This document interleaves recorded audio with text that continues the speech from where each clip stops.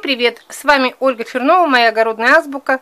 Сегодня 29 апреля, и я сегодня решила очень так развернутый дать ответ на вопрос, который звучит уже в течение двух месяцев.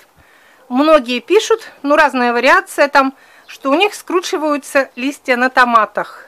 Некоторые пишут, подскажите причину, у меня закручиваются листья на томатах. Некоторые пишут, скручиваются листья, это болезнь или что? Я никогда на эти вопросы не отвечаю, потому что, вы сейчас поймете почему, потому что ответ однозначный давать невозможно на этот вопрос. Я сейчас сразу всем отвечу, кого интересует скручивание листьев томатов, но и даже после моего ответа вряд ли вы точно определите, найдете причину скручивания томатов, потому что так много причин, что иногда мы до конца не можем понять их, пока не высадим в открытый грунт, ну, на постоянное место. Обычно после этого все это скручивание прекращается. Если рассматривать самые-самые распространенные, то скрутиться лист у томатов может и от болезни. Может так томат прореагировать на удаление листьев. Вот когда более взрослые, например, сейчас мы высаживаем, если много листьев одновременно удалить, у него водный баланс нарушается, ну как он употребляет своей корневой системой определенное количество влаги, жидкости, распределяется все равномерно по листьям. Убрали 2-3 листа, листьев меньше, а количество влаги корневая система дает то же самое. И он может вот так отреагировать, раз, и закрутить лист. Значит, что-то у него не так. Потом с водой связана еще одна причина. Нарушение полива, нарушение режима полива. То есть бывает, что или перелив, или наоборот почва пересыхает, не хватает, недостаток влаги, может вот так отреагировать наше растение. Я же уже говорила, что лист это индикатор вот здоровья, состояния растения. И как только что-то не нравится, оно сразу раз, и лист меняет или форму, или цвет. Еще один вот такой важный фактор, который иногда мы даже не можем определить, это или нехватка каких-то питательных веществ, или наоборот, переизбыток этих питательных веществ, то есть частое внесение удобрения, то есть перекорм.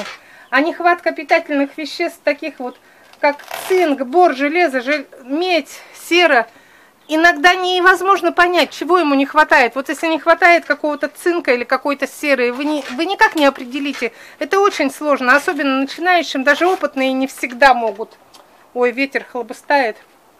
Значит, вот мы поняли, что или перекорм, или недостаток питательных веществ тоже может также отреагировать. И еще очень часто крутят листья, томаты от жары, от сухого, жаркого воздуха. Это может быть и дома в домашних условиях, это может быть и у нас вот в теплице сейчас. Но чаще всего, еще чаще всего, бывает особенность сорта. Я вот вам сейчас покажу. Вот Демидов у меня, он с самого рождения – как только рождается, у него листья сразу раз и закручиваются. То есть в одной и той же ситуации мы видим вот листья распрямленные, прямые обыкновенные у томатов, а вот те, которые, ну, видно явно, что они скручены. И я сейчас вот специально вам выставила на стул два сеянца. Это Настенька и Демидов. Они выращивались совершенно в одинаковых условиях. Один день посева, одинаково все. У Насти лист всегда, почти всегда вот так более прямой, а у Демидова, видите как, вот у него вот скрутка очень такая большая. И он и в открытом грунте, его высаживаешь в открытый грунт, ничего не изменяется, такие же листья скрученные. Те, которые страдали от сухого воздуха, например, от какого-то, от недостаточной влажности, обычно в открытый грунт высаживаешь, они распрямляют листья. А если это специфика сорта, вот такая характеристика некоторых сортов, он так и остается. Я вот по своему опыту знаю, что некоторые сорта есть почему-то всегда у него листья скручиваются. Вот у меня королевский, он недавно у меня появился, всего 2-3 года выращиваю. У него всегда лист вот такой вот скрученный. И он потом в теплице стоит скрученный. А вот рядом листья, видите, простые расправленные листья. То есть в одном и том же грунте, в одних и тех же условиях. Может лист, вот видите, королевский, вообще кучерявый, он кажется прям весь-весь закрученный. А другие томаты тут же растущие, Вот она та же Настенька. Листья прямые и расправленные. Вот, например, Вова Путин. Прекрасный лист у него такой хороший.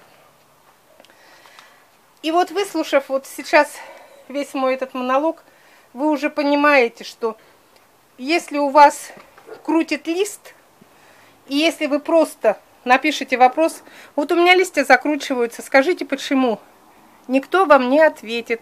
Очень часто, когда не хватает, например, я читала, что не хватает цинка, если в почве, ну, в грунте, в котором они выращиваются, то листья скручиваются вовну, ну, вовнутрь. И при недостатке цинка могут скручиваться не только листья, но и стволы верхние. Но вот у меня такого не было, чтобы поголовно все томаты закрутили листья, закрутили стволы. У меня вот Демидов крутит, я точно знаю, что это характеристика сорта. И Королевский крутит, я точно знаю, что это просто вот эта капризность этого сорта. Остальные листья не крутятся. Поэтому если у вас вот это какой-то единичный, какой-то отдельный сорт, например, из всего посева два или три сорта закручивают лист – Скорее всего, это характеристика сорта. Если пойдет кручение поголовное, то есть у всех, значит или недостаток какого-то элемента, или ну, неправильный режим содержания. Может быть еще и от недостатка освещения. И вот полив, что я уже упоминала, переувлажненность или сухая почва. Лист реагирует на многие вот такие факторы, когда ему что-то не нравится, он меняет свою форму. Но разбираться вы, конечно, будете сами в своем каждом конкретном случае. Я вот так сделала общий обзор. Я чаще всего не придаю значения, что у меня вот некоторые листья закручиваются. Я смотрю на состояние листьев только после того, как высадила на постоянное место, вот в грунт, например, или в теплицу. Если после этого, после того, как и питание у него здесь нормально, и освещенность хорошая, если даже после этого будут какие-то неполадки с листьями, тогда я уже буду принимать какие-то меры. А меры какие принимать? Конечно, я тоже не могу определить, какого вот ему не хватает компонента, там, элемента. Я беру просто вот этот коктейль, возможно, покажу вам сегодня, развожу, там, где и цинк, и бор, и железо, и все, и делаю опрыскивание профилактическое. Обычно после этого листья выправляются. Но делаю это очень редко, потому что, еще раз повторю, некоторые сорта, они такие есть, с крученными листьями. Так что не волнуйтесь, чаще всего... А, еще может быть причина болезней, но это уже очень редко. Чаще всего вот эти вот мелочи, или не хватает чего-то, или там солнышко не так, или полили не так. Обычно они выправляются. Все, до свидания. Когда я говорила о том, что во время скручивания листьев или изменения цвета, формы, некоторые не могут даже определить, что требуется растению, то многие в этом случае, да, действительно определить сложно, многие в этом случае просто используют вот такое опрыскивание – комплексом микроэлементов. Здесь все. И тут в инструкции подробно рассказано, что железо для чего нужно, что участвует в синтезе хлорофилла. Вот когда идет хлороз, обязательно нужно оно. Для чего нужен бор? Отвечает за формирование цветков. И если вы сделаете вот такое опрыскивание, то, возможно, уже не нужно будет обрабатывать борной кислотой. Тут написано, что марганец активирует более 35 ферментов, которые участвуют в фотосинтезе. Молибден нужен, что молибден играет большую роль в обмене веществ. Кобальт, магний, все, что здесь входит в состав, оно вот в минимальных, в микроскопических дозах, но нужно. И тут написан, написано, как использовать его, что одна столовая ложка всего лишь на 10 литров воды – и можно обработать, тут, по-моему, 100 метров. Но я не буду вам подробно, если вы купите, вы сами прочитаете. Очень-очень маленькие микроскопические дозы, но именно столько нужно растению. И вот без этих, без крошечного внесения вот таких... Конечно, у нас в грунте не у всех есть, не могут растения из грунта это взять, если там этого нет.